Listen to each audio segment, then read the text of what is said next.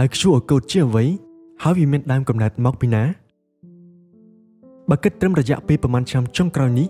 គេបានសង្កេតឃើញថា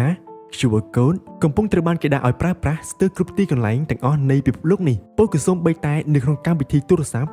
ឬតាមបណ្ដាញសង្គមផ្សេងផ្សេងៗភាគច្រើនសុទ្ធសឹងតែដាក់ QR code ជាផ្នែកមួយនៅក្នុងកម្មវិធីរបស់ខ្លួនដូច្នេះតើ QR code គឺជាអ្វីហើយវាមានដើមកំណត់មកពីណាការប្រើប្រាស់ QR code គឺជាវិធីសាស្ត្រមួយ ដែលជួយឲ្យយើងមានភាពងាយស្រួលក្នុងការទិញទំនិញឬនៅពេលដែលគិតប្រាក់តាមពិតទៅគំនិតនៃការបង្កើត QR code នេះត្រូវបានយកចេញពីសញ្ញាសម្គាល់ barcode ដែលភាគច្រើនគេនិយមប្រើប្រាស់នៅលើមុខទំនិញដើមឡើយ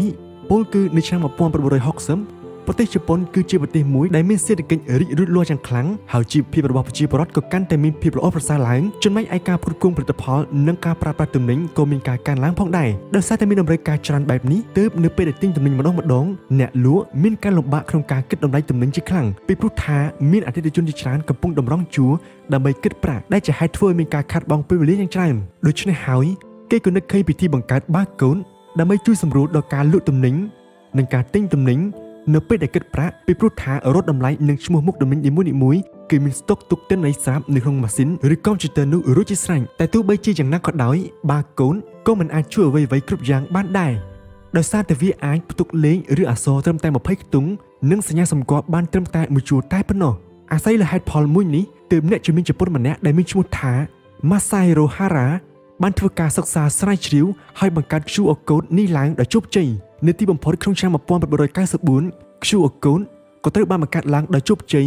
QR code ដែលមានឈ្មោះពេញថា Quick Response Code ដែលមានន័យថាការឆ្លើយតបយ៉ាងលឿនរហ័សសមាសធាតុសមរបស់វាសមឡើងពីធាតុ4យ៉ាង ទី1គឺលេខទី2គឺ alpha numbering ទី3 byte binary និងចុងក្រោយគឺតួអក្សរជប៉ុន QR code បានដាក់ឲ្យប្រើប្រាស់ជាលើដំបូងលើប្រភេទឡានដឹកទំនិញ ដែលដឹកចេញចូលតាមរោងចក្រដើម្បីជៀសវាងការកេងបន្លំពីជនមិនស្គាល់មុខដោយសារតែឃើញប្រសិទ្ធភាពរបស់ QR code ក៏ត្រូវបានគេដាក់ឲ្យប្រើប្រាស់លើមុខទំនិញជាច្រើនដែលកំពុងចរាចរក្នុងទីផ្សារនៃប្រទេសជប៉ុន បន្ទាប់មកនៅឆ្នាំ1997វាត្រូវបានគេទទួលស្គាល់ជាផ្លូវការហើយត្រូវបានប្រើប្រាស់នៅពីពេញពិភពលោករហូតដល់ពេលបច្ចុប្បន្ននេះ